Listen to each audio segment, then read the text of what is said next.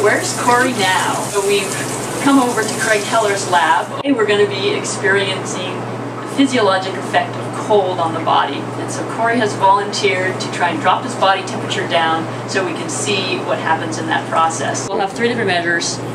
Heart rate will show his response to shivering. His heart rate should go up. Um, we have his core temperature measured by the esophageal temperature, and then we'll have the skin temperature measured by this probe on his hand. Putting on layers, he's taking off layers. Go, Corey. Corey? Yes. All right. I was going to say that it actually didn't feel very cold in here, but I realized that's ridiculous since I'm not in my ski jacket. It's pretty cold in here. There it is. Skin probes. My piloerector muscles are hard at work. It's a good thing I have such a thick mat of chest hair.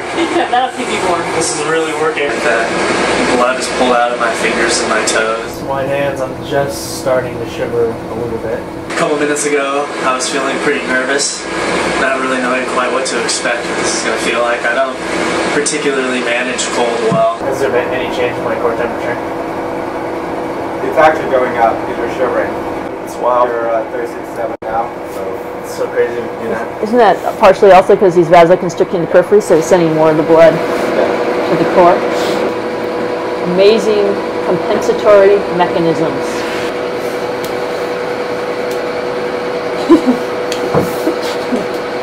ah, fun in the cold room. No, you can't really tell, but I I can feel a little bit of a difference. temperature is still going up.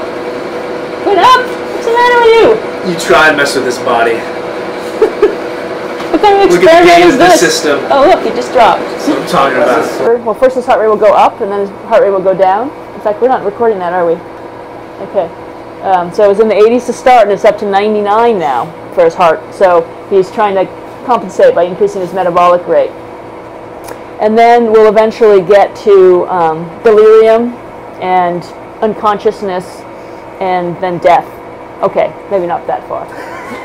so what's going to happen here is we're going to accelerate this process since we all have things to do. So we're going to put them in the in the water bath because water conducts heat away from the body 20 times faster than uh, air. And so we'll put them in there and he'll get cold faster. Oh man. Now I see some goosebumps.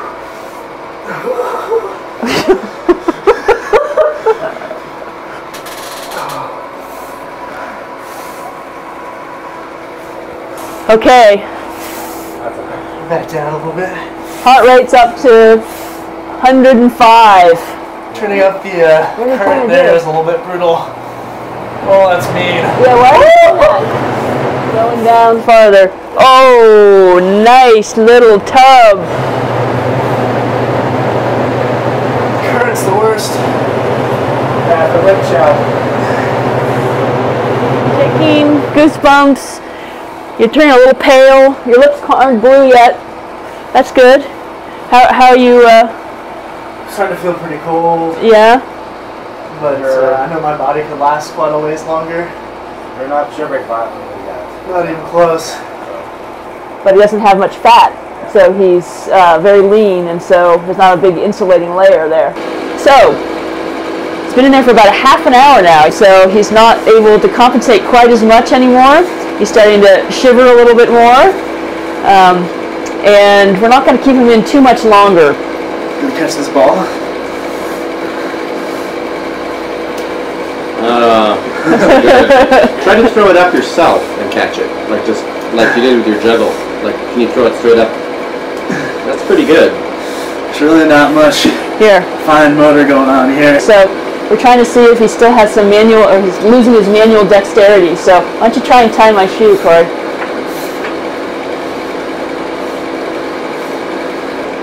Now imagine you're out in the cold trying to build a shelter. You have to tie that knot. Okay, so we're gonna cut your misery and get you out of the tank. Right here. But I don't feel anything anymore.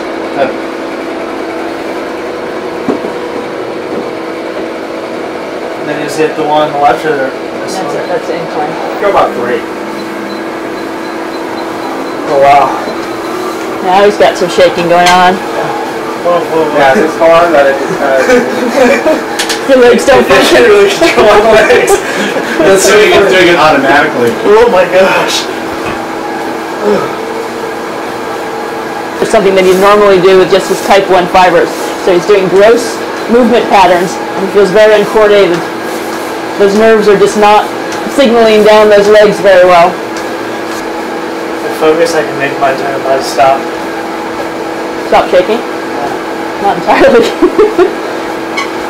It's like a, to work really hard to override it. I let it go. It comes right back.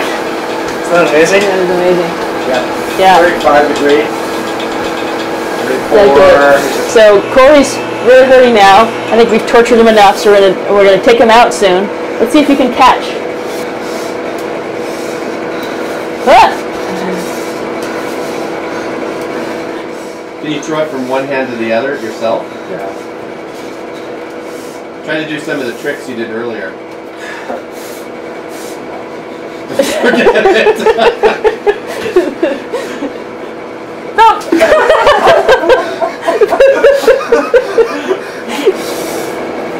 Let's do a little one more shoe tie, and then we're gonna get you warmed up.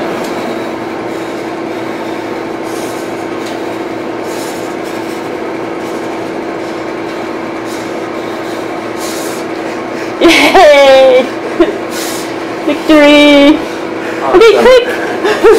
You deserve a warm mic for that. Yeah, Are we done? yeah, we're done. Let's get him warmed up. Temperature down to 34.5. Hold up Sure. in the background. There's no heat in the shoe, so you can't see that your hands are so cold. Your hands are just.